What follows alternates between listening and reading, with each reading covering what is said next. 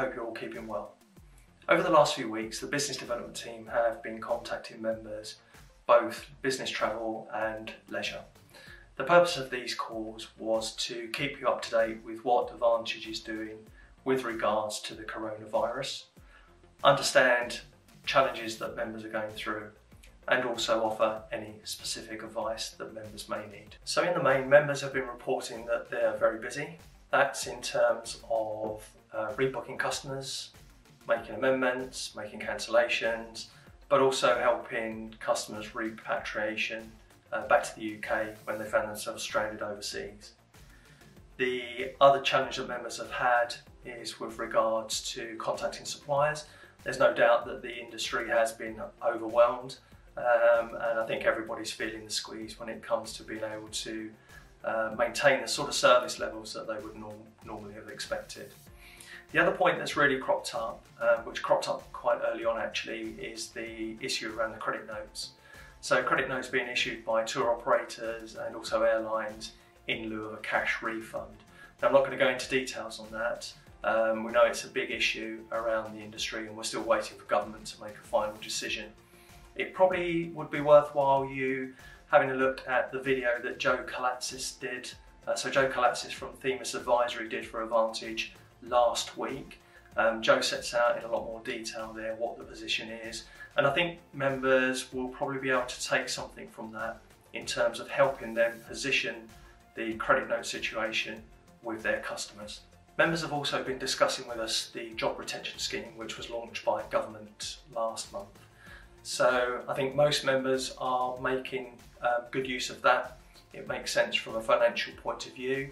If businesses are busy trying to rebook amend, repatriate.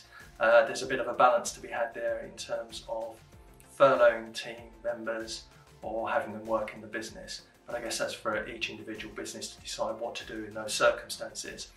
Now, when the scheme was launched, some of the information was a little bit patchy, as one would expect, I guess. Uh, we're now getting to more detail coming through uh, on the scheme. And there's a couple of bits I just wanted to update you on, which have literally just come in. So, um, individuals who employ employees can make those employees furloughed. So if you're a sole trader, you can make uh, employees furloughed. Now, that wasn't specifically mentioned in the scheme when it first launched, so I know there's been some queries around that. So it's not just open to limited companies, for example. So it's quite important. Any members who are employing uh, foreign nationals, they can also be furloughed uh, in the, uh, with, with the scheme. And anybody who's employing people on a fixed term contract, those can also be uh, furloughed as well. So that's uh, some clarity on those points.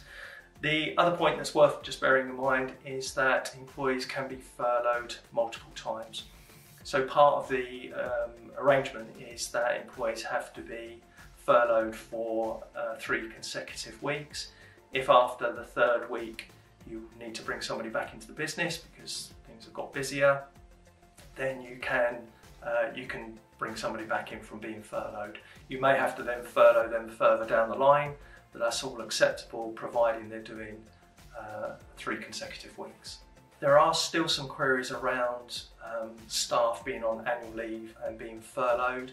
There's also some queries around staff that have been TUPE'd uh, from another company. So um, on those issues, we'd always say seek um, independent uh, legal advice.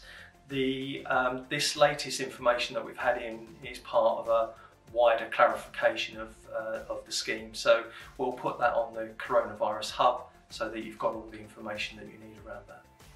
The other aspects of business which we've been talking to members about is safeguarding the long-term future of their business. And specifically, we've been talking about the importance of cash flow forecasting. Now, for a lot of small businesses, this isn't something that they do um, on a regular basis. Um, however, the next uh, six months and possibly the next 12 months are going to be quite critical for many businesses. So we've been asking members to really think about putting together a cash flow forecast. And I think this serves a number of purposes. Firstly, it's going to help identify any specific cash issues that may crop up um, in the future. Now, the quicker you know about where those challenges lie, the quicker you can set about trying to um, offset those uh, where possible.